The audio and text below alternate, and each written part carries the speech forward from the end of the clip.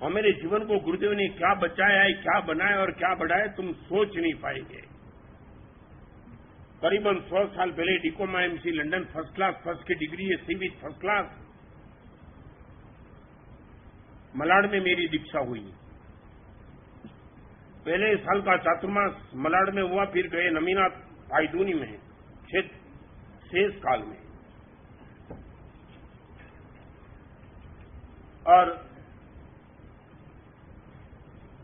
जो पढ़ता था, उसकी नोट करने के लिए मेरे हाथ में एक पेन आई। मुनि भगवान ने दी थी मुझे। वो जमाने में हीरो पेन थी चाइना की। फोर्टी एट साल हुए नरेश भाई। आपको लगता है कि गुरु कौन बन सकता है? क्या गुरु की ज़िम्मेदारी बन जाती है? और गुरु शिष्यों को किस ढंग का ऑपरेशन करके बचा लेता है?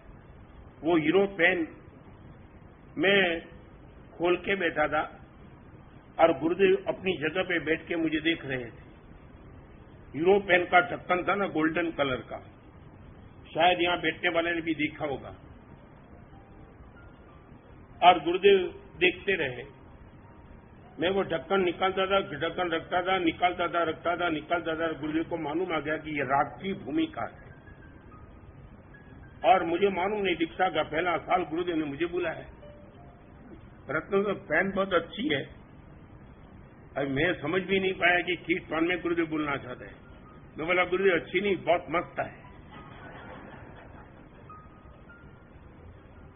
वर्षों से मेरे गुरुदेव के साथ रहे हुए पन्यास पद्म सनवी जी महाराज, आज वो अहमदाबाद में है। वो टाइम बाजू में बैठे थे, गुरुदेव के बाजू में। पद्म सिंह को गुरुदेव ने बुलाया।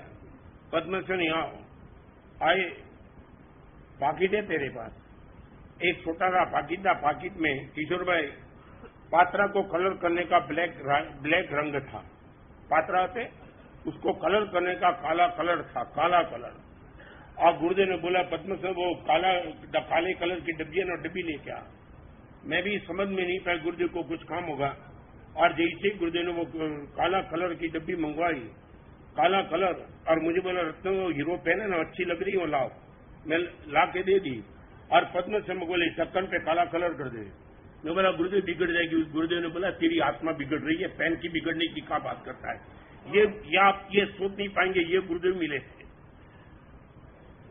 हीरो हीरो पेन ये ढक्कन का, ये गोल्डन कलर का ढक्कन तुझे पागल बनना है मालूम है कि कौन किस गति में तू जाएगा? मैं हैरान था। मेरी आँखों के सामने गुरुदेव काला कलर लगा दिया, काला कलर लगा के बोला, अभी रख पेन, यही पेन तुझे उपयोग ने बुना है।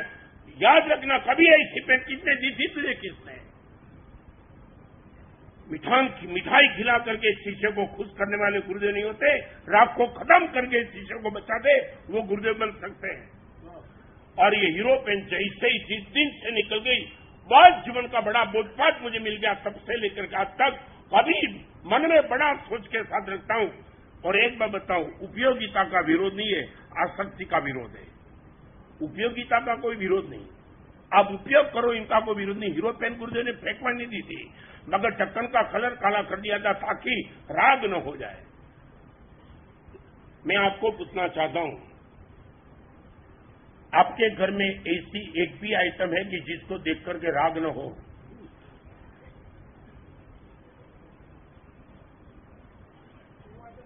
आपके घर की एक भी आइटम ऐसी की जिनको देख करके ना आपको राग न हो आजू बाले वगैरह राग हो। सच बताऊँ, आप यही प्रयास में लगे कि मेरे घर पे आने वाले को हर चीज़ देख करके राग हो, यही आपकी व्यवस्था।